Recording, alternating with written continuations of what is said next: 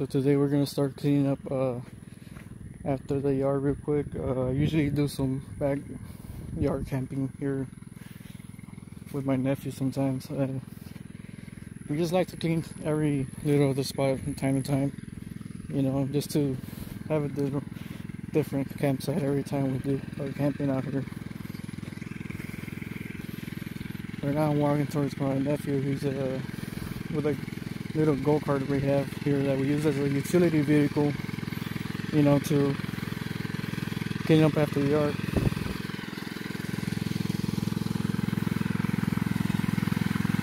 I also have this uh, Harbor Freight trailer that I bought to use it to make stuff to, you know, for work.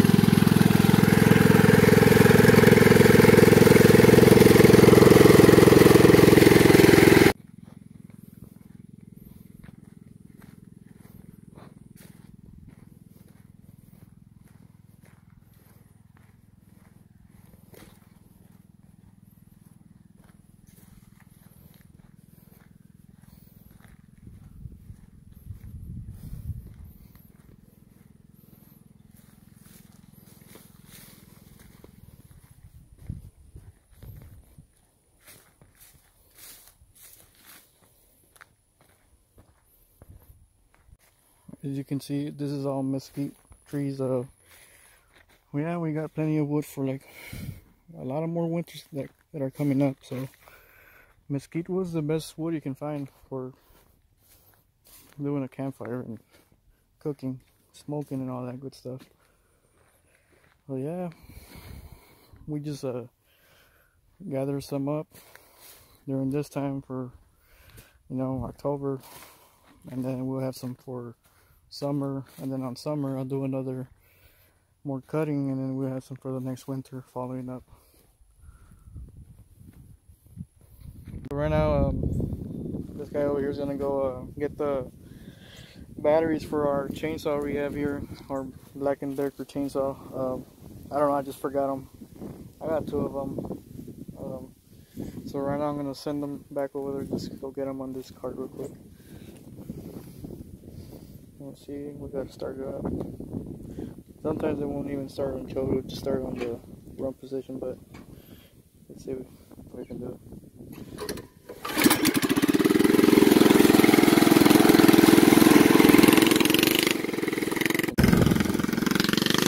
Yeah, we usually have to find a good spot to turn around. The turning radius is not really that good on it.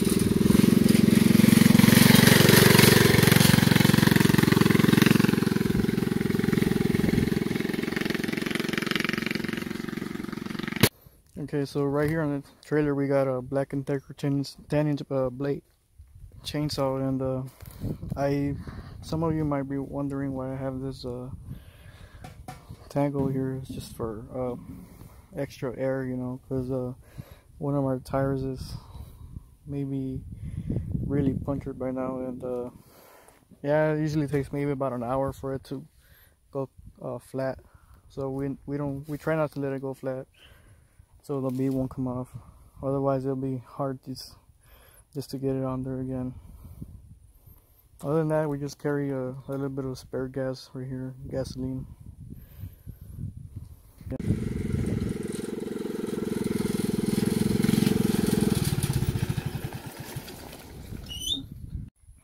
Okay so this is what we have going on. We got these trees are kind of like you know laying like sideways I'm gonna go ahead and cut those up, you know, just to gather a little bit more wood. Usually I just like try, to keep the, the pile just growing a little bit, you know, make sure we have enough wood. Not only for winter, well it's most of it, most of it is for winter, but you know, we do like using the mesquite wood for smoking, grilling, you know, so yeah let's go ahead and get started. I'll probably start with that one right there and then this one over here. Uh, maybe that other one is laying down the other side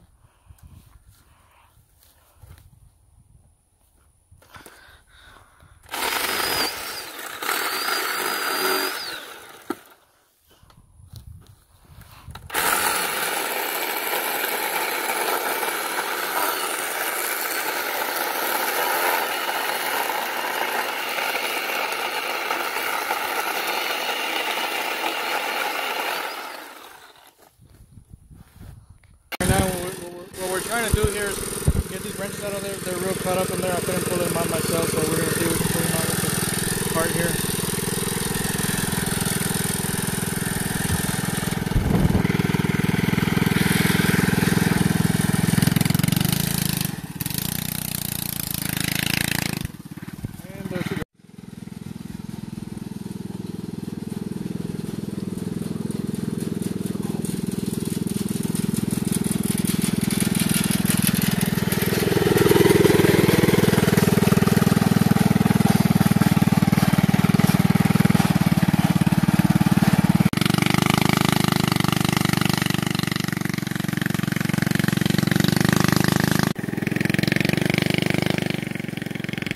About to pile up in this trailer. This is for I want to say like six months from now. We got uh, plenty of wood trees right here that we can get wood from. Yeah, we're gonna get a loaded up.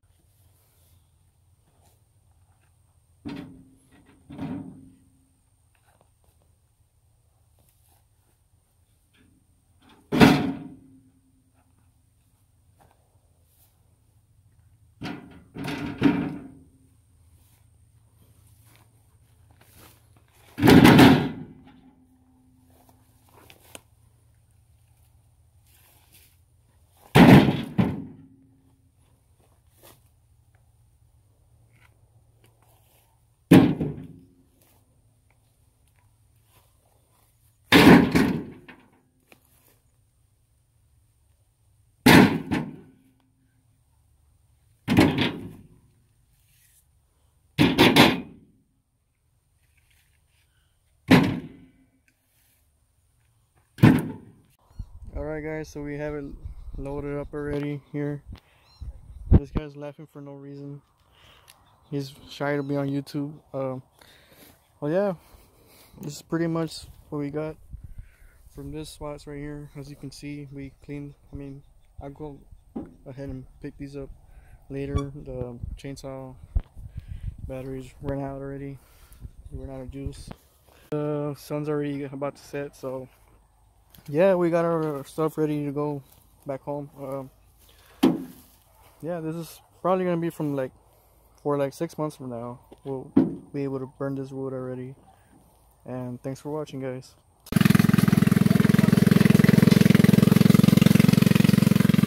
Thank